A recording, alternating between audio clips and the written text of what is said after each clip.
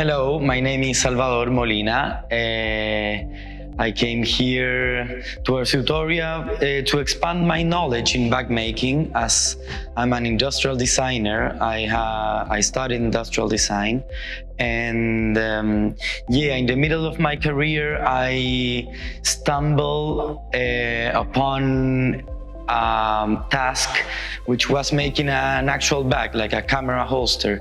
And as soon as i designed that i realized that there was so many things to do in the bag world and in the carry world.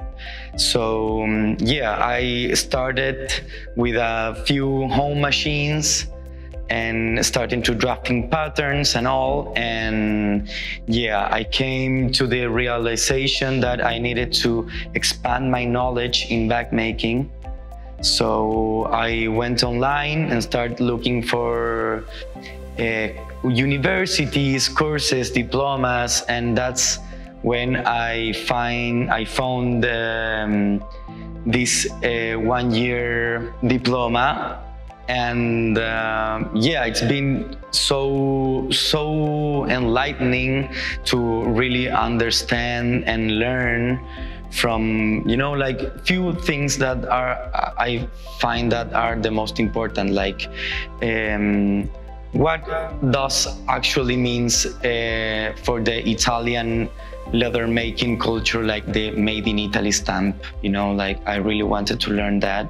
And here like yeah i'm i'm learning about all different kinds of constructions of edge finishings and tools that uh, otherwise i wouldn't um, get to know them like in depth.